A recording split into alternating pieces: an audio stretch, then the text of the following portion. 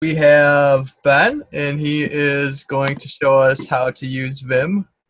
And uh, let you take it away. All right. So this is not a super technical talk, so it won't be like that or any of the other ones. So let's. Can you guys hear me all right? Yep. All right, cool. So this is a brief history of Vim from tmux to dot files. I was so inspired by Michaela's talk that I went out and made this, and uh, I think it's beautiful. So, oh, I have this thing in the way. One second.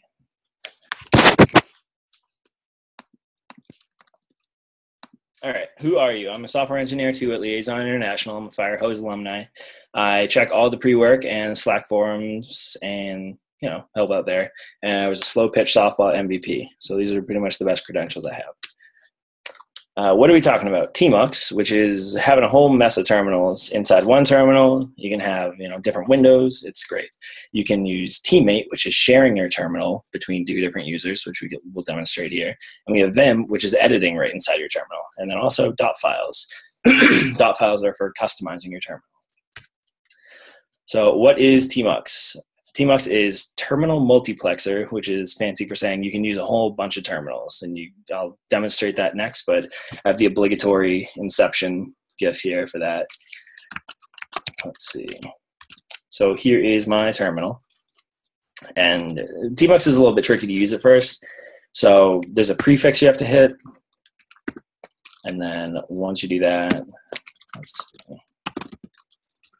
I don't know why that's not working.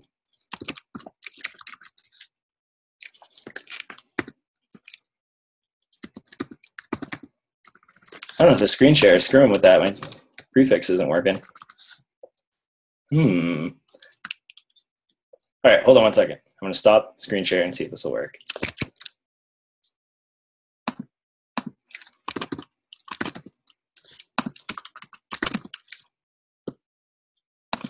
It's not working, guys. this is going great. All right, quitting iTerm. Yeah, you do need more gifts. I know they're coming. I'll feed you.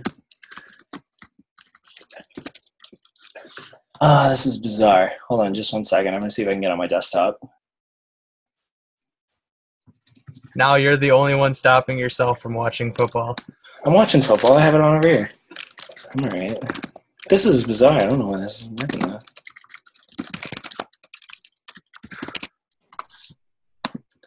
All right. Well, Maybe we can just move on. I think Vim's gonna work.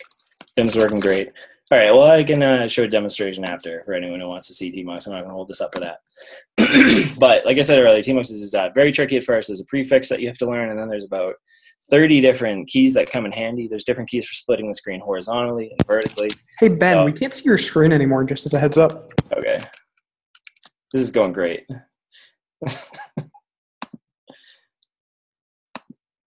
All right. Are we good? You're All good. Right, cool. So, best ways to practice TMUX, mess around inside of TMUX while looking at commands. And there are no other ways. You will fail if you try to do it any other way. There's way too much stuff to try to remember. You cannot do it. It's going to make it a lot harder for you. And I'm sorry for that. There's no other ways. What is tmate? tmate is a tool based on TMUX for terminal sharing. So it's my favorite tool for pairing because you get to use it with Vim. And Vim is what we're getting into next. So let's see if I can get a TMUX session going. What you need to do for TMUX is type TMUX. and it's also not working. What is going on? It doesn't give me the SSH at the bottom. So what usually happens is you get an SSH key down at the bottom over here. I'm not sure why it's not happening here. Maybe I actually try it in terminal.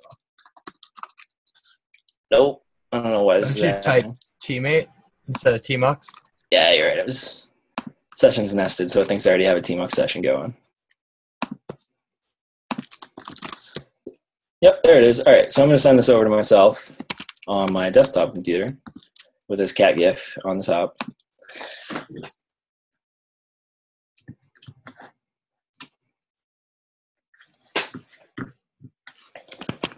And now I'm connected.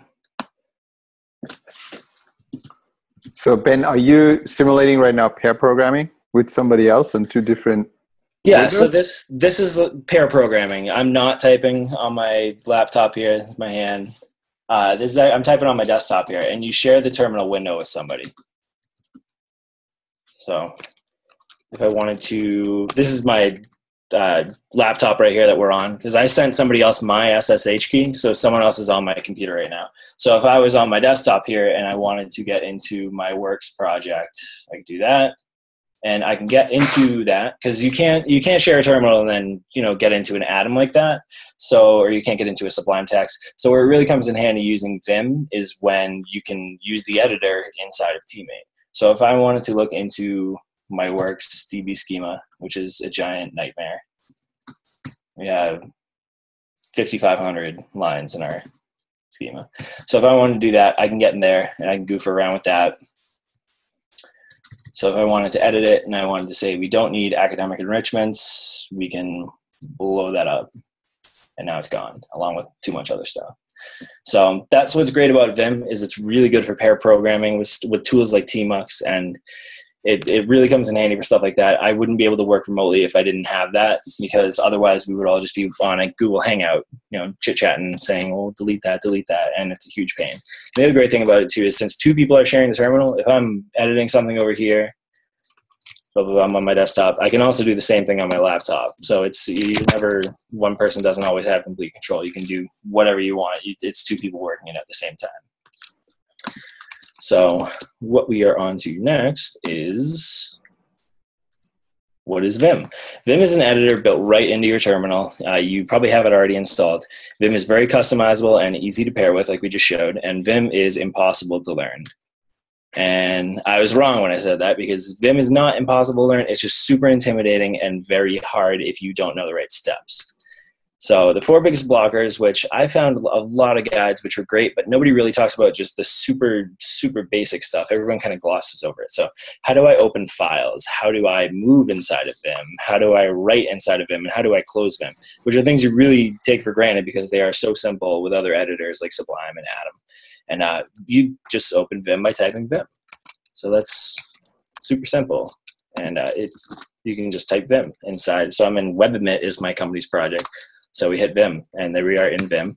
And from inside Vim, just like a lot of you can use uh, like Fuzzy Find in uh, Atom, and you can use Fuzzy Find in uh, Sublime Text. You can use that in Vim too.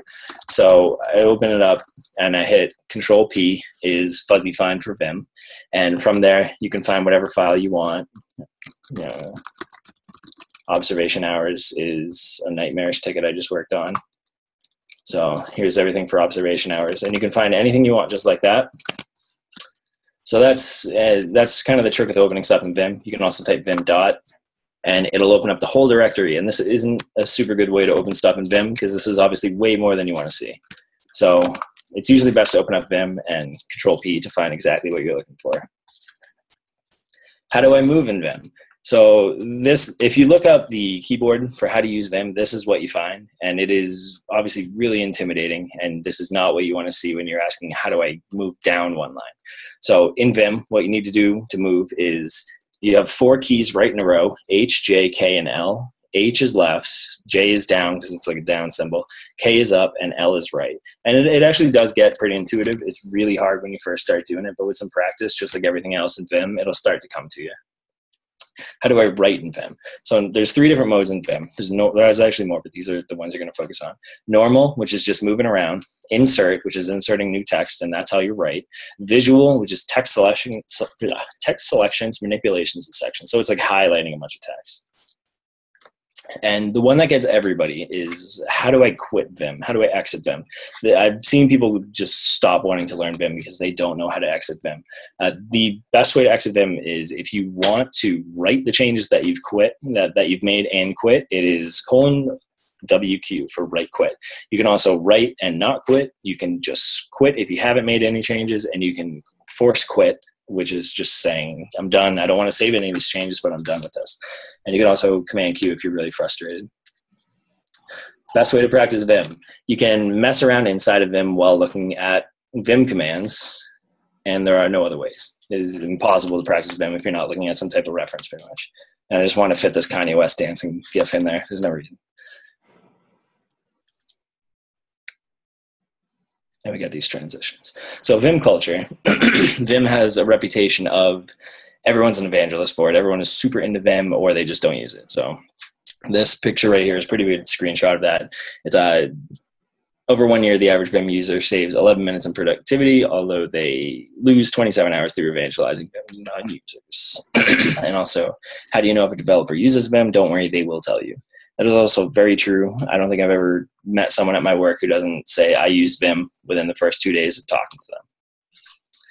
And dot files. Dot files are really good for customizing your terminal. Uh, if you saw my terminal, it probably looks a lot different than many other terminals you've seen. Certainly, if you use just basic terminal, it looks nothing like that. So it's great for customizing your terminal aliases and everything else. So you can start by stealing somebody else's dot files. These dot files are actually really simple to get. They're uh, Thoughtbots dot files. It took maybe 10 minutes to install them, getting all the dependencies sorted out. So one of the aliases that I have, which I'm 100% sure is not going to work, and we can take a look at why that is, is Ross, and it will play Rick Ross, or it should play Rick Ross. So in this case, it's not going to play Rick Ross because it says, hey, what's going on here? So what we're going to do is we're going to go figure out why that is. So it's pointing towards dot dot files. So I don't think I have a dot dot files. Eh, I guess I do. All right, so we don't have. I don't. I'm not using dot dot files. Those are old dot files that I'm using. So inside dot files, we are looking for vim alias. So here, what we're doing is we're typing vim, and then we're typing the path of the file that we're opening, which is aliases. And here, this is aliases Ross for Rick Ross. And we're not pointing this toward dot files because I have Spotify control inside of this. So I wrote quit. I changed it. I think we need to get over to a new terminal uh, because we just changed an alias.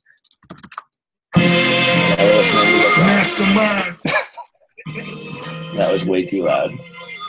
But that's just about it. So dot files are really intimidating at first too.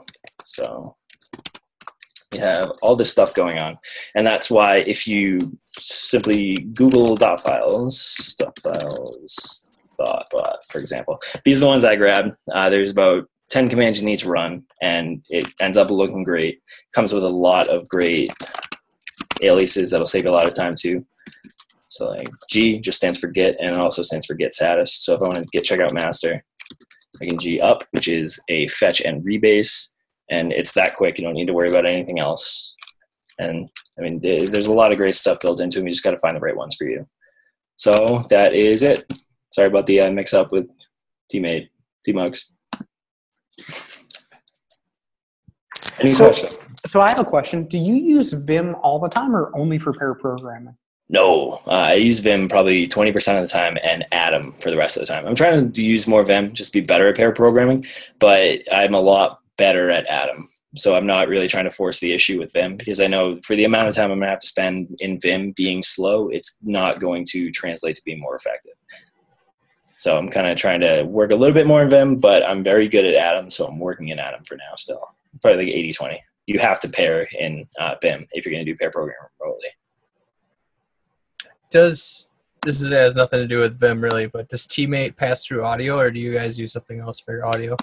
No, uh, we usually use Google Hangouts for audio. Uh, we use HipChat too. HipChat has pretty much Google Hangouts capabilities in it, but we just don't use it. We pretty much stuck on Google Hangouts. Cool. Yeah. How long do those uh, SSH keys live for, for those sessions in tmate? I, programmed with someone for 10 hours before, no issues at all. We didn't have to start anything up. Uh, one time we actually dropped it and then came back to it the next morning and it was working. So it's, I mean, it's kind of concerning, but it, uh, it worked out great. And I think there's a way that you can force close it. I know there were a lot of complaints about that initially because there are security holes that you can screw with on that. So uh, they there were complaints. I think they ended up doing that. But I mean, yeah, I usually just close it. I should probably actually manually close it, but I usually just exit the window. What's the score, Ben? Huh? What's the score? oh, zero zero. end of the first. That's why tmate so, wasn't working. If we grab if we grab that SSH key off the video, then we can mess with your computer, right? Hold on. I mean, all right, I closed it. yeah, go ahead. Do your worst. Awesome. Anybody else have any other questions? Nope. All right. Next we have Faisal, and he is going to do a talk on continuous integration. And then also afterwards, I will I'll let you guys know. But if you don't want to hang out afterwards, you can you can dip out and don't worry about it. But we are going to continue to hang out and actually set up a continuous integration for the Lightning Talks app. So if you want to hang out afterwards, I'll let you guys know again. So All right, yeah, thanks, Colin. So my name is Faisal, and let me share my screen. Uh, there you go.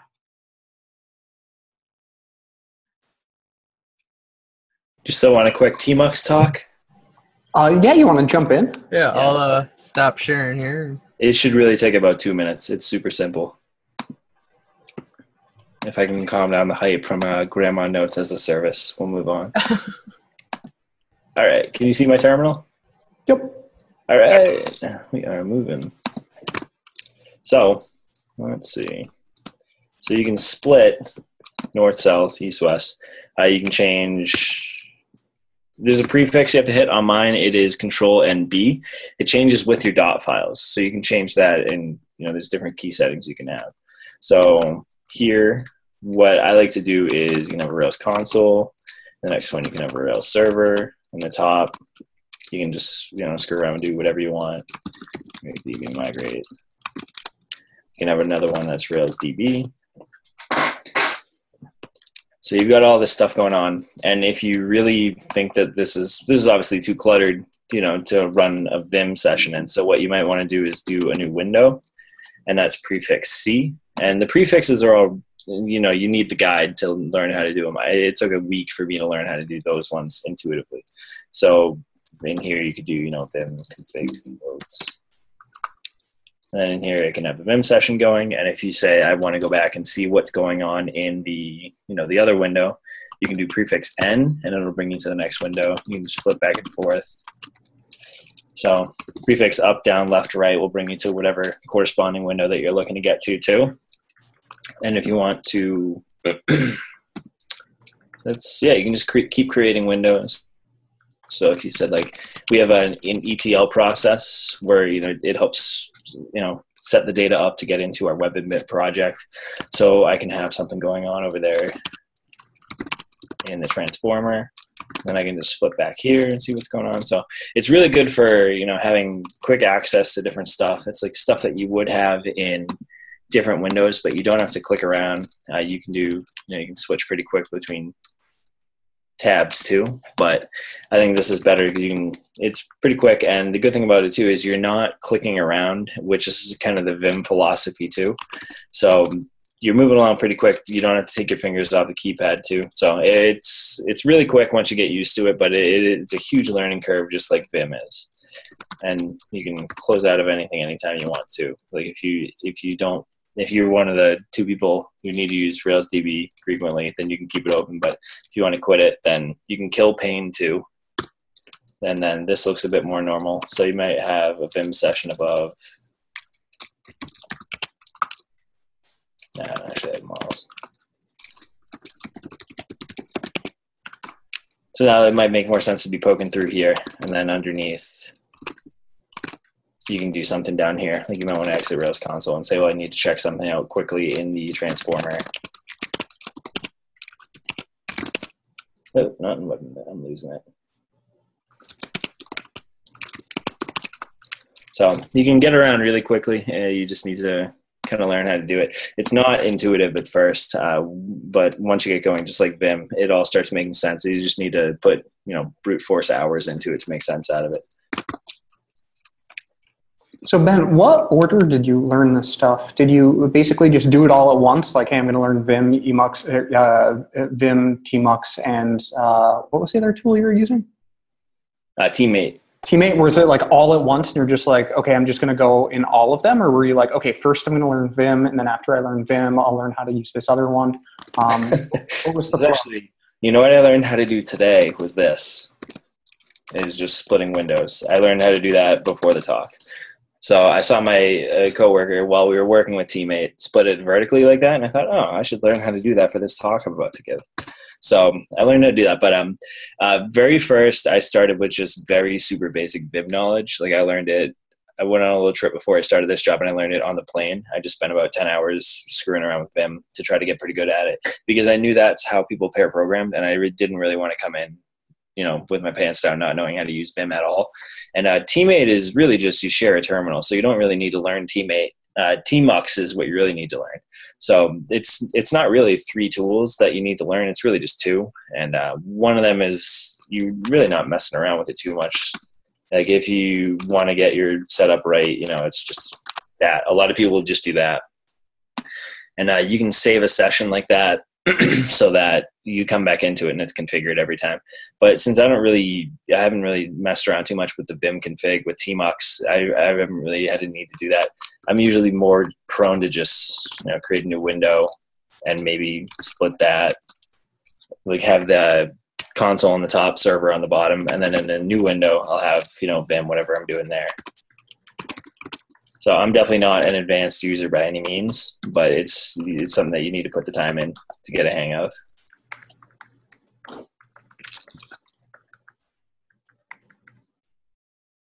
Super interesting. Yeah. But it's it's kind of hard to give a talk about it because you can't say, well, you hold you hold caps locks hit B and then you hit you know quote sign and then you hold caps locks you hit B and then you hit you know percent sign. And so you really need to get your hands on it to understand it.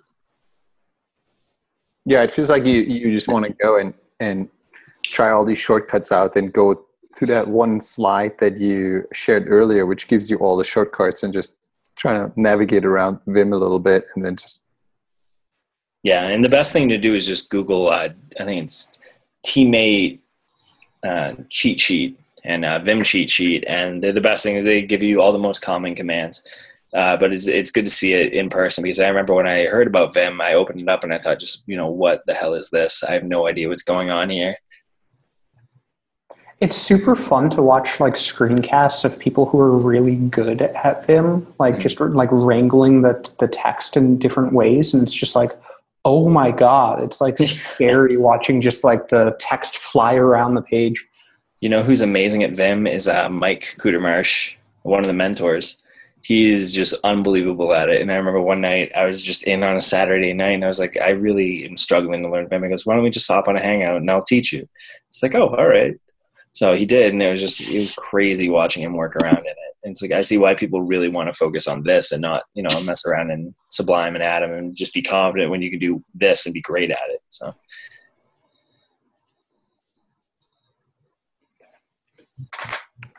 He's a great guy. Great great developer. Yeah, he's good.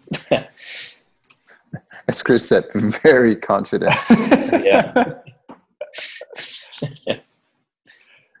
Awesome, cool. Colin, do you wanna wanna jump in, or are you still code shipping?